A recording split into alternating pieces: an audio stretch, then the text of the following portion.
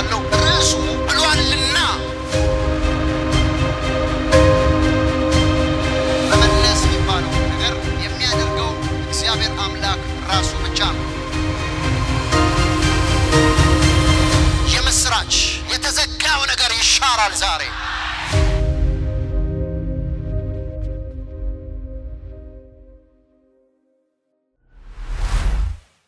እግዚአብሔር እንደዚህ አለ፣ ዛሬ እባርካችኋለሁ ብለዋል። okay፣ እዚህ ጋር ምናልባት ይሻለኝ ይሆናል። እዚህ ጋር ይሻለኝ ይሆናል። እግዚአብሔር እንደዚህ አለ፣ እባርካችኋለሁ። ብዙ ጊዜ ስለሰማ ነው በምን መልኩ መቀበል እንዳለብን ላይገባን ይችላል። በዚህ በኩል እግዚአብሔር አምላክ የሰራዊቱ ቅዱስ እንደዚህ ይላቸዋል፣ እባርካችኋለሁ። ዛሬ ትባረካላችሁ። አሜን። አንድ ሰው ጮሆ እባረካለሁ ይበል። ኢየሱስ ክርስቶስ የተባረከ ይሁን። መቼም እባርካችኋለሁ የሚለውን ቃል ወይም ትባረካላችሁ የሚለውን ቃል በጣም ሚሊየን ጊዜ ሰምታችሁት ሊሆን ይችላል።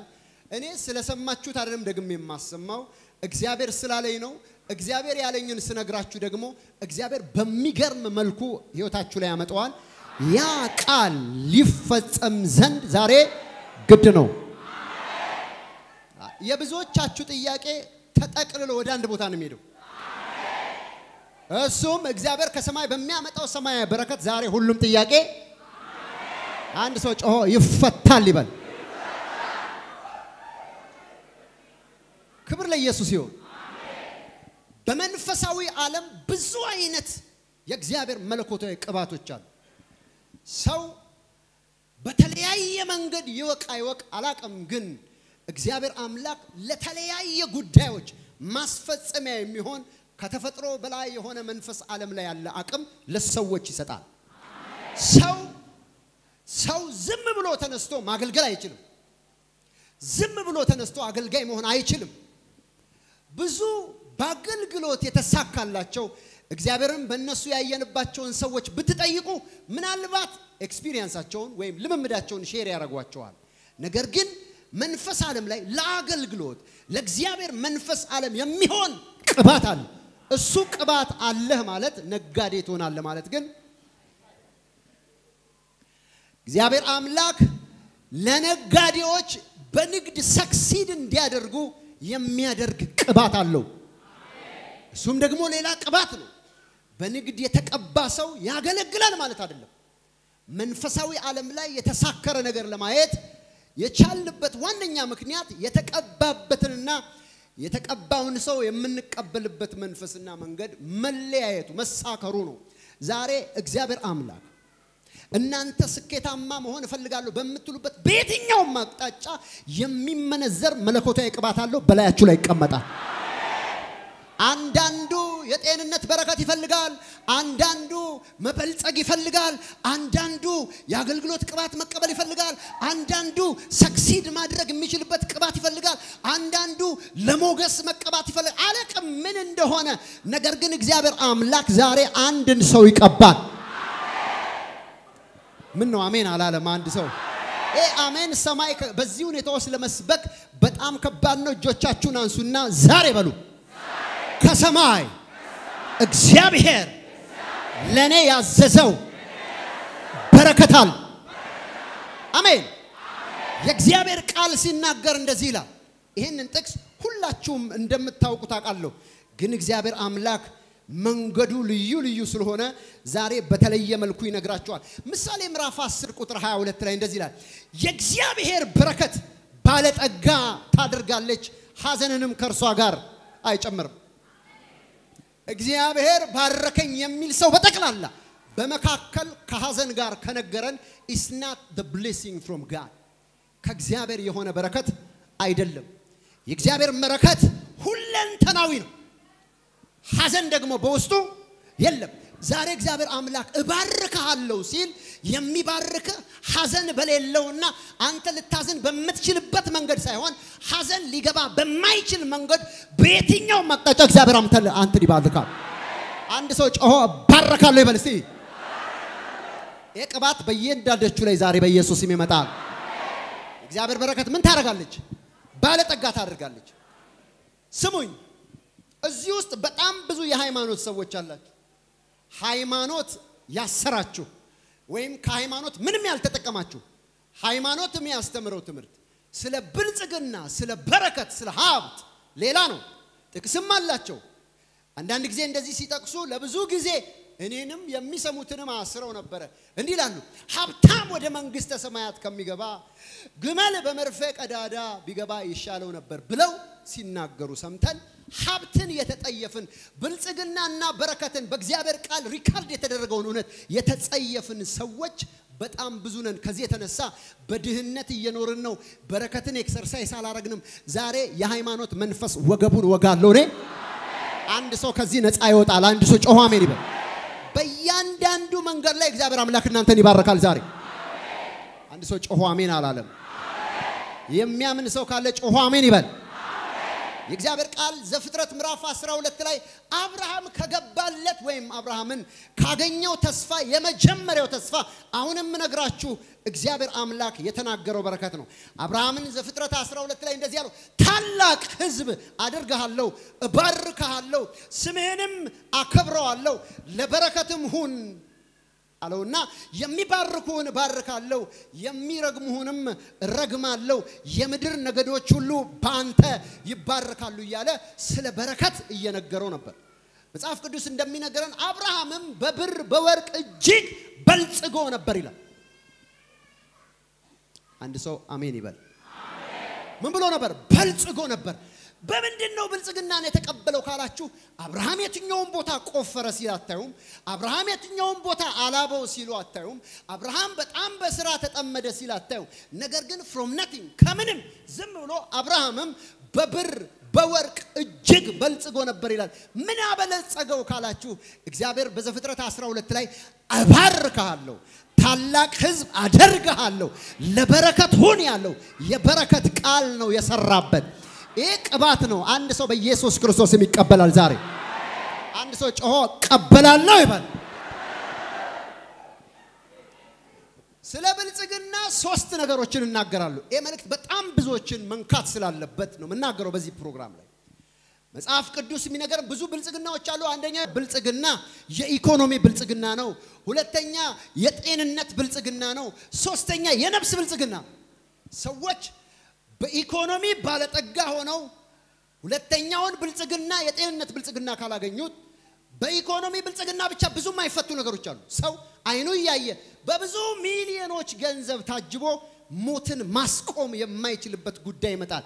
ሰው በጤንነት ካልተባረከ ገንዘቡ በራሱ በቂ አይደለም። ለዚህ ነው ሶስቱም ዓለም ላይ ብልጽግና ሊያገኘን ይገባል። አሜን አሜን። ኢየሱስ የተባረከ ይሁን። ዛሬ በጤንነት ባለጠጋ ሆናችሁ ማለት እላያችሁ ላይ ያለው በሽታ ብድግ ብሎ ይጣላል ማለት ነው። እላያችሁ ላይ ያለ እስራት ይበጠሳል ማለት ነው። ቀንበራችሁ ይሰበራል ማለት ነው። እግዚአብሔር አምላክ አንድን ሰው በዚህ ብልጽግና ያገኘዋል። እግዚአብሔር አምላክ በኢኮኖሚ ያገኘዋል። እግዚአብሔር አምላክ በነፍስ ብልጽግና ያገኘዋል። ሶስቱንም ዓለማት ወይም የሶስቱንም ዓለም ብልጽግና የምትቀበሉበት point የት ነው ካላችሁ የእግዚአብሔር ባርኮት ነው። እግዚአብሔር ሲባርክህ ሐዘን በሷ የለም ካልከኝ ወይም ያለም ካለህ መጽሐፉ አንተ ኢኮኖሚ ኖሮ በጤንነት ሐዘን ውስጥ አትገባም ማለት ነው። ሙሉ ነው። እጆቻችሁን አንሱ። ይሄ በረከት በኢየሱስ ስም በላያችሁ ላይ ይመጣል ዛሬ። ይሄ በረከት በጌታ በኢየሱስ ስም በላያችሁ ላይ ይመጣል ዛሬ። የእግዚአብሔር ልጅ ኢየሱስ ይባረክ። ስም በላያችሁ ላይ ይመጣል። እጆቻችሁን አንሱና ዛሬ በሉ እስቲ በነፍስ እባረካለሁ፣ በጤንነት እባረካለሁ፣ በኢኮኖሚ እባረካለሁ በሉ። ይሄ በረከት ዛሬ እኔን ያገኘኛል። ኢየሱስ የተባረከ ይሁን። አንዳንድ ሰዎች እንደዚህ አይነት ነገር ሲነገር እጭ ሌላ መልእክት የለም ወይ ይላሉ። ለረዥም ጊዜ የሰሙት ይሄ የሃይማኖት መንፈስ ነው። ግን የእናንተ ጥያቄዎች ጠቅላላ ተያይዘው ቢሄዱ አሁን ከምናገረው ነገር ውስጥ አያልፉ። ይሄ ነገር ተፈታ ማለት ችግር ተፈታ ማለት። አሜን አላለም አንድ ሰው። እስኪ አንድ ሰው ጮሆ አሜን ይበል። ይህም መልእክት እግዚአብሔር አምላክ እዚህ አዲስ አበባ ላይ ደግመህ ተናገረው ስላለኝ እናገራለሁ። የሚሰማ ሰው ካለ እጆቹን አንስቶ እሰማለሁ ይበል። ተዘጋጅታችኋል ወይ? አሜን አሜን። እስኪ ቆይ ስለ ማጣት ሳሳያችሁ ነው ስለ ማግኘት የሚገባችሁ። መጽሐፍ ቅዱስ በዚህ አቅጣጫ ላይ የሚነግረንን እውነት ስንሰማ በብዙ አቅጣጫዎች እግዚአብሔር አምላክ ዛሬ እኛን ይፈታናል። እስኪ አንድ ሰው ጮሆ እፈታለሁ ይበል።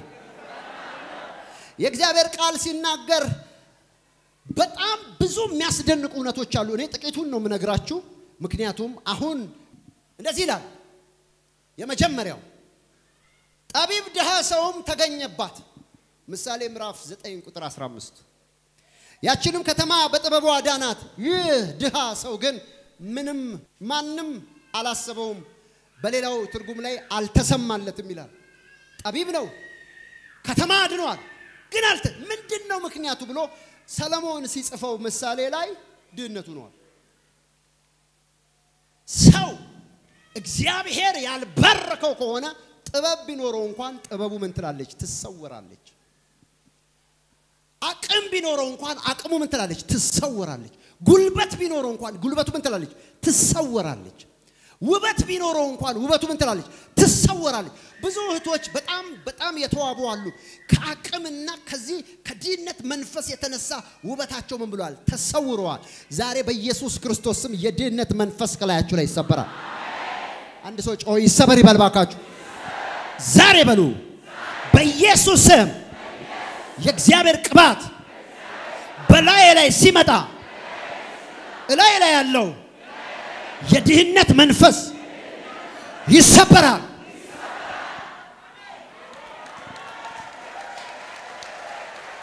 ብዙ ሰዎች ትልልቅ አቅም ይዘው አልታዩም፣ ገና አልተሰሙም ገና። የእግዚአብሔር ቃል መክብብ ላይ ሲናገር ገንዘብ ሁሉን ይመልሳል። money can answer all things ይላል። ሁሉን ይመልሳል። የሚገርመው ነገር ብዙ ጥያቄዎች ብዙ ጥያቄዎች። እስቲ አንድ ቃል አንድ ቃል ላንብብላችሁ። በጣም የሚገርመኝ ነገር ስለ ወዳጅ ስለ ስለሚቀበሉ ሰዎች ወይም ደግሞ አንተን ስለሚፈልጉ ሰዎች የእግዚአብሔር ቃል ምሳሌ ምዕራፍ 19 ቁጥር አራት ላይ እንደዚህ ይላል። ሁላችንም እናወጣዋለን። ይህን ቃል የሰማ ሰው rejection ቢደርስበት ከየት ምንጭ እንደሆነ ያውቃል። ዛሬ የእግዚአብሔር በረከት በኢኮኖሚ በል፣ በጤና በል፣ በነፍስ በል እግዚአብሔር አምላክ ያሳርፋችሁና ትወጣላችሁ። ይህን ቅባት የሚፈልግ ሰው ጮሆ አሜን ብቻ ይበለኝ። የእግዚአብሔር ልጅ ኢየሱስ የተባረከ ይሁን። ጮክ በሉና አሜን በሉ። ምሳሌ ምዕራፍ 19 ቁጥር አራት ላይ ያለውን ቃል አጠገብ ያለውን ሰው እየሰማ ነው ወይ በሉ። እሪ ብሎ ጮሆ ይወጣልሃል በሉት። እየሰማ ከሆነ ነው ታዲያ። ባለጠግነት ብዙ ወዳጆችን ይጨምራል፣ ስጦታ ለሚሰጥም ሁሉ ወዳጅ ነው። ቁጥር 12 እንደ አንበሳ ግዛት የንጉሥ ቁጣ ነው፣ ሞገስን በመስክ ላይ እንዳለ ጠል ነው ይላል። እኔ ቁጥር አራትን አነባለሁ። ቁጥር አራት ባለጠግነት ብዙ ወዳጆችን ምን ይላል? ይጨምራል። ሰው ጎሽ ጎሽ የሚባለው እግዚአብሔር አምላክ ብድግ ያደረገው ሰው ጋር ስትደርስ ነው። ሰው ሊግኖር የሚደረገውና መገፋት የሚበዛበት በሚገርም ሁኔታ እግዚአብሔር አምላክ ብለስድ ያደረገው በነፍስ በስጋ በመንፈስ ያልተባረከ ሲሆን ሰው እንኳን አቴንሽን አይሰጠውም። አንዳንድ ሰዎች መስሪያ ቤት ውስጥ ብዙ ተቃውሞ ይደርስብኛል ይላሉ። ይህን ሰምታችኋል? ይሄም ይገፋኛል፣ ያም ይገፋኛል፣ ያልም ይገፋኛል። አሁን አንዳንድ ሰው ለዚህ ጉዳይ የሚጸልየው በመስሪያ ቤት ላይ የሚገፋት ከሰው መካከል እንዳትወደድ የሚያረጋት መንፈስ የተመታ ነው የሚለው። እኔ ደግሞ የድህነት መንፈስ የተሰበረ ይሁን ነው የምለው። ወዳጅ ማብዛት የሚችል ሰው እግዚአብሔር አምላክ ብለስድ ያደረገው ነው። ያም ያም ያም ቁጭ ብድግ የሚልለት ሰው ምን አይነት ሰው ነው ብትሎኝ፣ እግዚአብሔር አምላክ እንደ አብርሃም ብድግ ያደረገው ሰው ነው። ዛሬ በኢየሱስ ክርስቶስ ስም ያስጎነበሳችሁ የድህነት መንፈስ ይሰበራል። አንድ ሰው ጮሆ ይሰበር ይበል። እኔ ከአንድ ሰው ላይ ከአንድ ሰው ላይ እግዚአብሔር አምላክ ይህንን መንፈስ ዛሬ እንክት ሲያደርገው ያለው ለመውጣት እየፈለጋችሁ መውጣት ያቃታችሁ፣ ለመሄድ እየፈለጋችሁ መሄድ ያቃታችሁ፣ የተከለላችሁ፣ የተገደባችሁ የምስራች ዛሬ አምላኬ እግዚአብሔር ይሰብርልሃል እያልኩ ድህነት መንፈስ ነው። በኢየሱስ ስም አንድ ሰው ጮሆ ረግማለሁ ይበል። እስቲ። በተቃወምክ ጊዜ ቀንበርን ከላይ ትሰብራለህ ተብሎ ተጽፏል። ዘመዳችሁ የሆነ ድህነት ዝም በሉ። አይ እግዚአብሔር አብርሃምን በባረከበት በረከት መባረክ ፈልጋለሁ፣ ይሄንን life አልቀበልም የሚል ሰው ብድግ ብሎ ይሰበር ይበል። በቃ እናንተ ከኔ ጋር ናችሁ። የጌታ ስም የተባረከ ይሁን። ዛሬ በረከት በኢየሱስ ክርስቶስም በላያችሁ ላይ ይመጣል። እግዚአብሔር አምላክ አብርሃምን የባረከበት አምስት በረከት ነው። መጀመሪያ ላይ እባርካለሁ፣ ከዛስ ለበረከት አድርጋለሁ፣ ከዛስ በአንተ አሕዛብ ሁሉ ምን ይላሉ? ይባረካሉ። ከዛስ የሚረግሙ ይረገማሉ። ከዛስ የሚጠሉ ይረገማሉ። የሚ- የሚባርኩስ ይባረካሉ። አምስት አይነት በረከት እግዚአብሔር ባረከው። ዛሬ በኢየሱስ ስም አምስት አይነት በረከት በሕይወታችሁ ላይ ይመጣል። መጀመሪያ እግዚአብሔር ምን ያደርጋል? ይባርካል። ከባረከህና ካሰፋህ በኋላ ሁለተኛው ደግሞ ምንድነው የሚለው? ለበረከት ያደርጋል። እያንዳንዳቸው በአንተ ስር ያሉ አንተ የምታውቃቸው ዘሮች ያንተ የሆኑ ሰዎች ሁሉ በአንተ በአንቺ የተነሳ ይባረካሉ። ይሄ ሁለተኛው ደረጃ በረከት ነው። ዛሬ እግዚአብሔር አምላክ እንዲህ ብሏል፣ እባርካችኋለሁ ብሏል። እግዚአብሔር ሲባርክ እስከዚህ ድረስ ነው። አንድ ሰው አሜን ይበል። መጀመሪያ አንተ ምን ይላል? ይባርካል። በግራ በቀኝ በፊት በኋላ ያሰፋል። ከዛስ ሁለተኛው ለበረከት ያደርጋል። በቃ አንተ የሰው ጥያቄ እየሞላ የዘርህን ጥያቄ እየዘጋ የቤተሰቦችሽን ጥያቄ እየዘጋሽ እየዘጋጋ የምትሄድ ሰው ያደርጋል። አይደለም ለአንተ ከአንተ ውጭ ያሉ ብዙ ሰዎችን ሰፖርት የምታደርግበት መለኮታዊ አቅም ላይ ላይ ይቀመጣል። ለበረከት ያደርጋል። አሜን አላለም። አንድ ሰው አሜን አላለም። አሜን አላ አሜን የሚል ሰው አሜን ይበል። አሜን የሚል ሰው አሜን ይበል። አሜን የሚል ሰው አሜን ይበል። ሁለተኛው የአብርሃም በረከት በኢየሱስ ስም በበረከት ነው የሚጀምረው። ዛሬ አንተ ጠላቴ በሉ ወደዚህ እውነት እንዳልደርስ የዘጋ በሬን የድህነት መንፈስ በኢየሱስ ስም አሁን ከላይ ላይ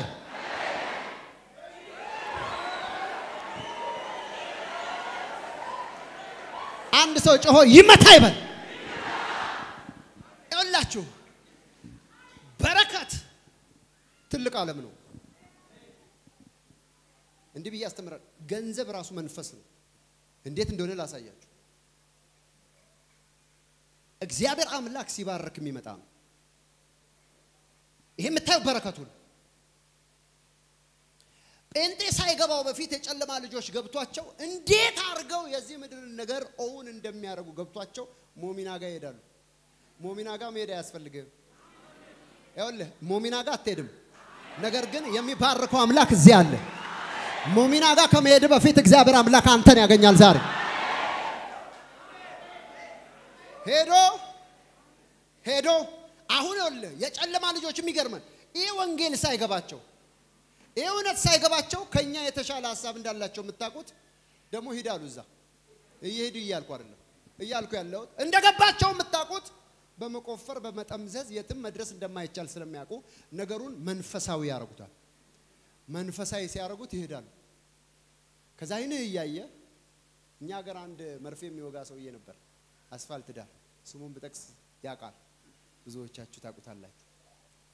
መርፌ ነው የመጨረሻ እንትን ነው። ሱዳን ሄደው እንዴት ነው የበራለት ብትሉ ይሄ ከአጋንንቱ ዓለም ጋር ተጠግቶ በፋንታው ሌላ ነገር አድርጎ መጽሐፍ ቅዱስ ሲናገር ሰው ዓለምን ሁሉ ቢያተርፍ ነፍሱን ግን ቢያጎድል ምን ይጠቅመዋል ነው የሚለው። የነፍስን ደግሞ በረከት አለ፣ የነፍስ ብልጽግና አለ። ለዚህ ነው የእግዚአብሔር በረከት ፍጹም ነው። ሶስቱንም መሀል እንደዚህ አድርጎ ያኛውስ ሞሚና ጋር ሄዶ ሲመለስ ነፍሱን መንዝሮ ነው የመጣው። እዛ ሄድ እያልኩ አይደለም። ነገሩ እንዴት በራላቸው ነው የምልህ። ጉዳዩ መንፈሳዊ እንደሆነ ይስቡታል። ሄደው ወጋው። ደግሞ ከየትም አይስቡም፣ ከአንተ ኪስ ነው። የሰላሚ መንፈስ አካባቢ ላይ አለ። ከዚህ በፊት ነግሬያቸዋለሁ። እዚህ አካባቢ ያለው እንዳለ ሰጥቻለሁ ይላል ያ ጠንቋይ። ከዛ ሌሊት ስድስት ሰዓት ተነስቶ በአህያ ይገልባል። ከዛስ የምትሰራ ሁሉ ይዞራሉ ወደሱ። እሱ ቁጭ ብሎ አንተ ወር ሳይደርስ ምን ነካኝ ምናምን ትላል። እሱ እየሳበው እየሰለበው ነው። ዛሬ ያንቺ ነገር የተሰለበ ያንተ ነገር የተሰለበ ከሆነ በጌታ በኢየሱስ ክርስቶስ ስም አዛለሁ። የሰላቢ መንፈስ ሲመታ ቤል ያወጣውን እንደሚተፋ ያንተን ነገር ተፍቶ እጅ ላይ አድርጎ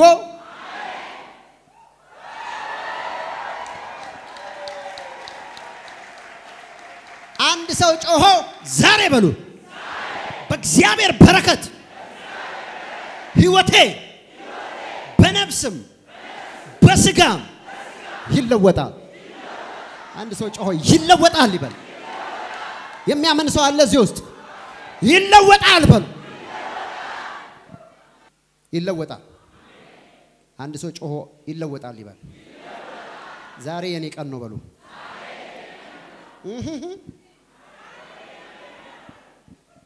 መንፈሳዊ ነው።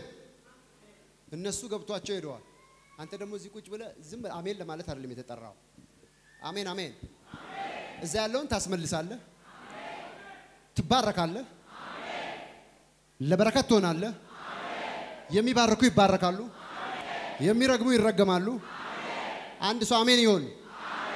አሜን አሜን። እየባረከ እንደገና ትባረካለህ። ወደዚህ ከፍታ በኢየሱስ ስም እንድትመጡ በኢየሱስ ክርስቶስ ስም ጸልያለሁ።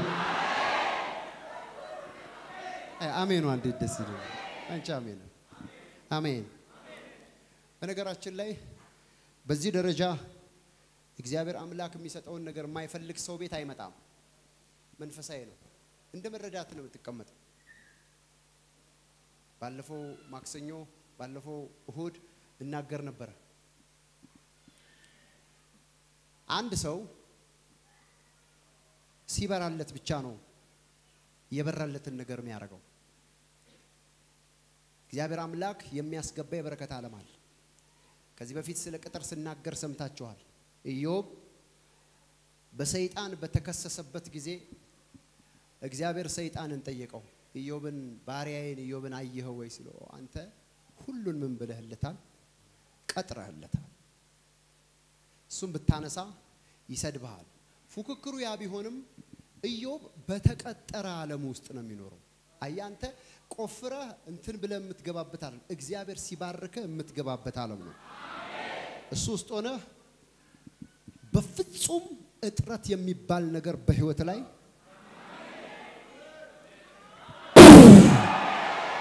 አንድ ሰው ሲቀበል አይቻለሁ። እጥረት የሚባል ነገር ከህይወት ላይ ይመታል። እንደ ነቀዝ፣ እንደ ኩብኩባ፣ እንደ ተምች የበላብህን ያንን መንፈስ ዛሬ እግዚአብሔር ይበቀላል። በሽታ ራሱ የድህነት መንፈስ ነው። የታመማችሁ ዛሬ ትታችሁት ነው የምትሄዱት። አሁን አንዱን እዚህ ጋር የታመመ ሰው interview ባረግ በ1900 ምናምን ጀመረኝ። ከዛ MRI ከዛ ያገኘኸውን ነገር ፕላን አድርጎ ነው የሚቀበልህ። ልክ ገንዘቡ እጅ ላይ ሲመጣ ልጅህን በሽተኛ ያደርጋል፣ ይዘህ ትሄዳለህ። አንተን በ MRI በምናምን በምናምን ዜሮ ያረጋሃል። በሽታው ሲነሳ ነው የምታርፈው።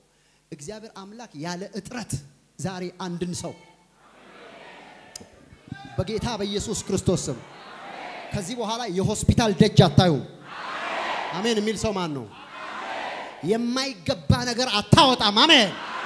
እግዚአብሔር አምላክ ኢኮኖሚህን፣ ብልጽግናህን፣ ጤናህን የሰጠህን ነገር ሁሉ ይጠብቃል።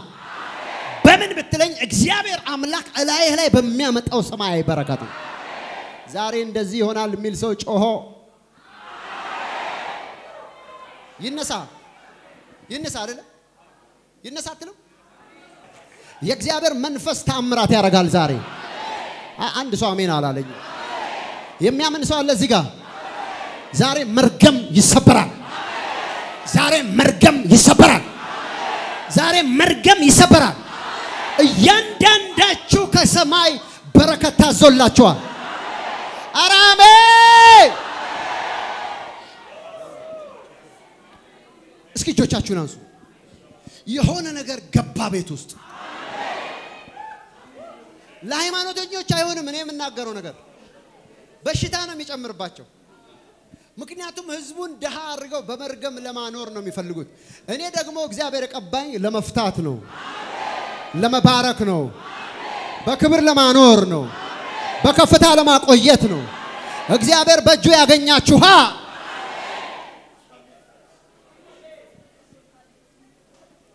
አሜን አላለም። አንድ ሰው የሚያምን ሰው አሜን አላለ። የሚያምን ሰው አሜን አላለ። የሚያምን ሰው አሜን አላለ። ጩሁና አሜን።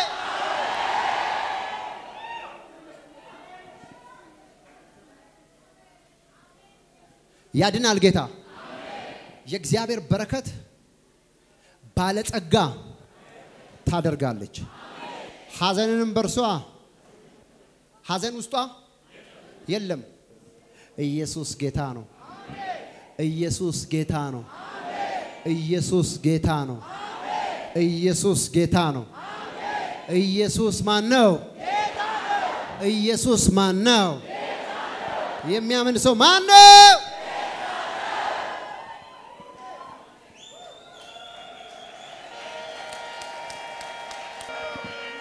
ኢየሱስ ክርስቶስ የተባረከ ይሁን። አንድ ሰው አሜን ይበል። እግዚአብሔር ምን ያደርጋል? ይባርካል። ዛሬ በጤንነት ይባርካል፣ በኢኮኖሚ ይባርካል፣ በነፍስ ይባርካል። በእያንዳንዱ ነገር እግዚአብሔር አምላክ ምን ይላቸዋል? ይባርካቸዋል። አሜን። የእግዚአብሔር በረከት ምን ታደርጋለች? ባለጠጋ ሐዘንስ የለባትም። ፍጹም ንጹህ ንጹህ ንጹህ ንጹህ በረከት ነች። እግዚአብሔር አምላክ ዛሬ ይባርካቸዋል። ዛሬ የበረከት ቅባት በላይ ላይ ያርፋል በሉ። እጆቻችሁን ያዙና የበረከት ቅባት በእኔ ላይ ይመጣል በሉ። የበረከት ቅባት በላይ ላይ ይሆናል በሉ። በእኔ ላይ በሉ። በረከት ቅባት ያገኘኛል። እጆቻችሁን አንሱ እስቲ። አንድ ሰው ጮሆ አሜን ይበል። እግዚአብሔር ቃል ኢሳይያስ 45 ቁጥር 3 ላይ እንዲህ ይላል፣ በስምህም የምጠራ የእስራኤል አምላክ እግዚአብሔር እኔ እንደሆንሁ ታውቅ ዘንድ እግዚአብሔር በስምህ እየጠራ ነው። በስምህ የምጠራ እኔ እንደሆንኩ ታውቅ ዘንድ በጨለማ የነበረችውን መዝገብ በስውርም የተደበቀችውን ሀብት እሰጥሃለሁ። በጨለማ የነበረችውን በስውርም የተደበቀችውን ምን ሀብት ምን እላለሁ እሰጥሃለሁ።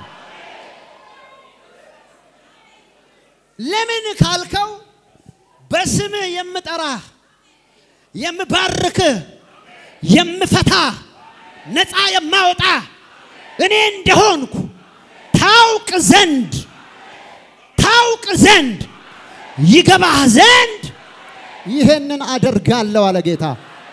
አንድ ሰው ጮሆ ያደርግልኛል ይኸውልህ አንተ የምትፈልገው ትልቅ የኢኮኖሚ ትሬዠር በጨለማ ውስጥ ለዚህ ነው ቁልፉን ማግኘት ያልቻልሽው።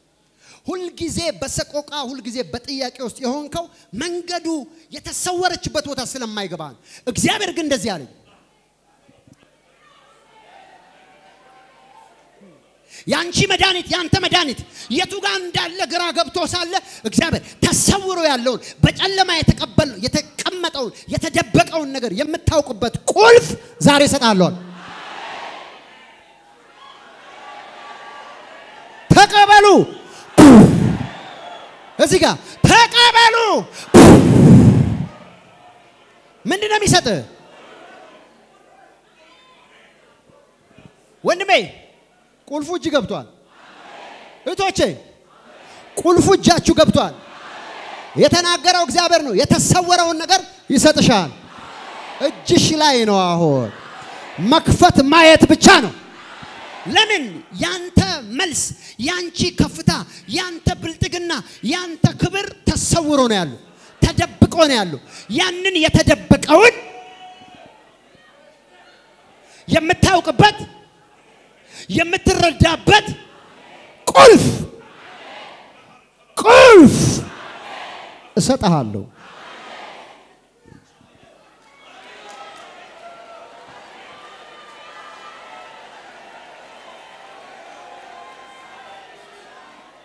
ቁልፉ እጄ ገባ በል። ቁልፉ እጄ ላይ ካለ በል። አሁን ለኔ ፈውስ ይሆናል። አሁን ለኔ ታምራት ይሆናል።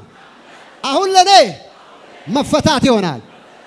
ጨለማ እኔን አይችለኝም።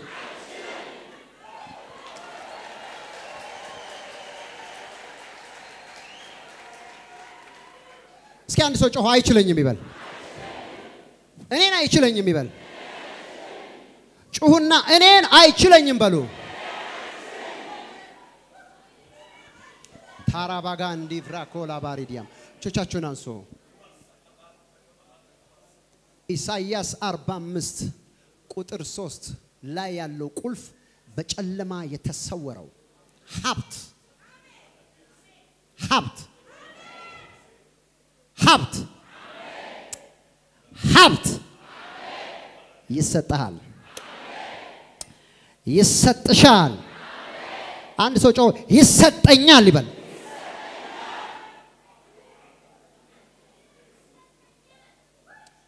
ማቴዎስ 17 ላይ ጌታ ኢየሱስ ክርስቶስ የተሰወረውን ነገር ሲገልጥ ለምሳሌ ሲያስቀምጥ ታያላችሁ።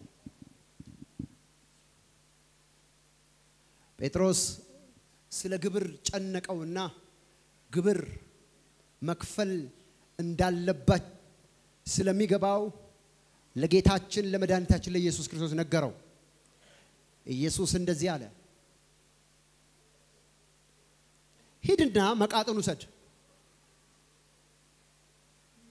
አሳ ሂድና አጥምድ። መጀመሪያ የምታወጣትን አሳ አፏን ክፈት። ከዛ ዲናር ታገኛለህ አለው። የተሰወረውን ነገር አይደለም። አንተ ይኸውልህ በሱቅ ስትጠብቀው በሎተሪ ይመጣልሃል። በሎተሪ ስትጠብቀው በስጦታ ይመጣልሃል። አንተ ብቻ የቱ ጋር እንዳለ አታውቅም። ግን እግዚአብሔር አምላክ ዛሬ ቁልፍ ይሰጥሃል። ለጴጥሮስ ምንድን የሰጠው? ቁልፍ ቁልፍ ኧረ አሜን የሚል ሰው ማን ነው? ለጴጥሮስ ምንድን የሰጠው? ቁልፍ ጥያቄውን ሁሉ የሚመልስበት ምን ቁልፍ። ዛሬ በኢየሱስ ስም ቁልፉ ይሰጣቸዋል። ጴጥሮስ ቁልፉን ይዞ ሄደ፣ አወጣ። ሲከፍት ኮይን አገኘ ይላል። አሳየው። ሂድ እንግዲያውስ ሂድና ለሚፈልጉት ክፈል ብሎ ኢየሱስ ክርስቶስ ነገረው። ዛሬ የሆነ ነገር ማድረግ ያቃታችሁ ቁልፍ ይሰጣቸዋል። የሆነ ነገር መመለስ ያቃታችሁ ቁልፍ ይሰጣቸዋል። የሆነ ነገር መክፈት ያቃታችሁ ቁልፍ ይሰጣቸዋል። ለጴጥሮስ ቁልፍ እንደሰጠው በኢየሱስ ስም ለእናንተ ቁልፍ ይሰጣቸዋል። ይህ ማለት ኢሳይያስ 45 ቁጥር 3 ላይ ያለው በጨለማ የተሰወረችውን መዝገብ የተሰወር የተደበቀችውን መዝገብ እሰጥሃለሁ እሰጥሃለሁ። ለምን አንተን በስምህ የጠራሁት እኔ እንደሆንኩ ታውቅ ዘንድ ዛሬ ቁልፍ እጅ ላይ ይቀመጥ። አንድ ሰው ጮሆ ቁልፉን እቀበላለሁ ይበላ። ቁልፉን እቀበላለሁ ይበል። ቁልፉን እቀበላለሁ በሉ። የተዘጋጀ ሰው የተዘጋጀ ሰው የተዘጋጀ ሰው ድግምት ቁልፋችሁን የወሰደ ጥንቆላ ቁልፋችሁን የወሰደ አስማት ቁልፋችሁን የወሰደ የዘር ማንዘር መርገም ቁልፉን የወሰደባችሁ የትኛውም የትኛውም የአጋንንት ዓለም ላይ ያለ አሰራር ቁልፉን ከእጃችሁ የነጠቀ ዛሬ እግዚአብሔር አምላክ የተሰወረውን የተደበቀውን የተነጠቀውን ቁልፍ እጆች ላይ ያስቀምጣል። አሜን።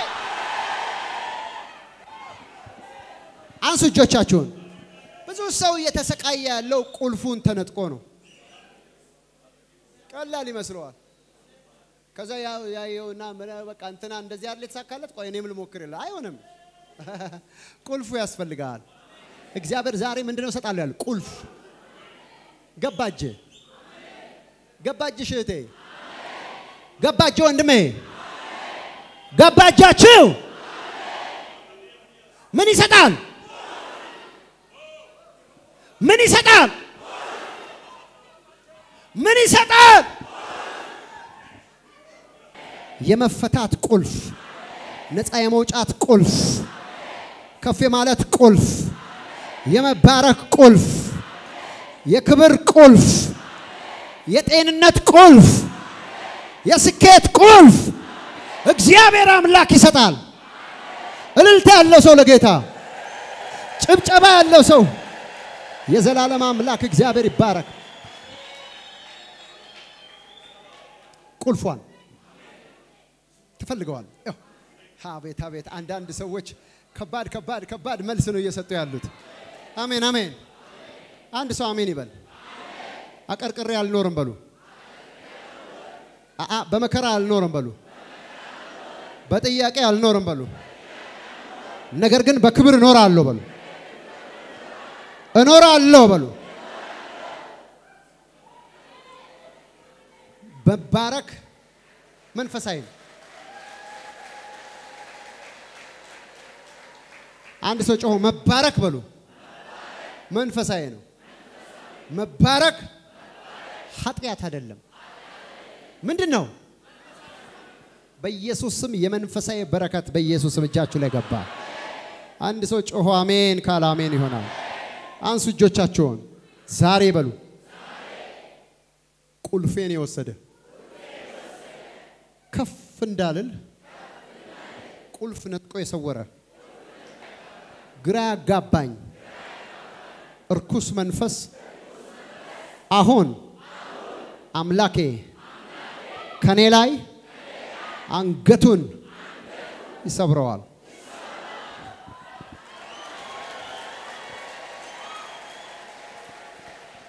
አንድ ሰው ጮሆ ይሰበራል ይበል። የፌስቡክ ገጻችንን prophet ደረሰ ላቀው ህዝባር Anointing TV የሚለውን like እና follow ያድርጉ። እንዲሁም የዩቲዩብ ቻናላችንን Anointing TV channel የሚለውን subscribe ያድርጉ። በየጊዜው የምንለቃቸውን የተለያዩ ቪዲዮዎች እንዲደርሱ የደውል ምልክቷን ይጫኑ።